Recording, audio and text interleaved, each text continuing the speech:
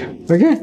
This bone so if you are learning just from the textbook just by pictures or reading the theory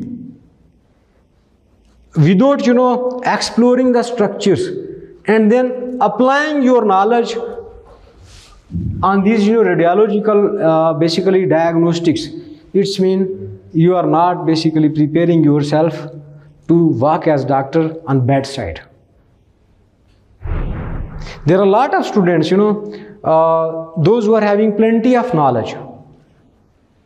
But that knowledge is not applicable knowledge.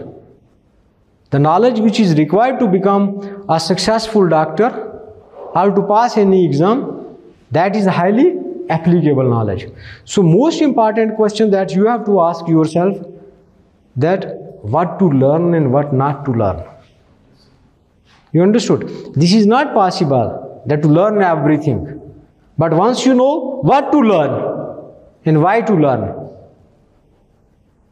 then uh, you will be having you know uh, plenty of knowledge. The knowledge that is required to pass exam and to apply knowledge in clinical life.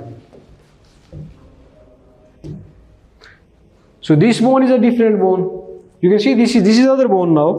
So this is this bone. This is called a scaphoid this is your scaphoid in snuff box here this bone is the scaphoid bone platform with the name of Chinar Medicals. Yes, this is your platform because you are going to you know uh, study human anatomy, uh, biochemistry, and then physiology. The basic you know disciplines. When you are starting your MBBS school, uh, first it comes the human anatomy that you are going to explore uh, your body.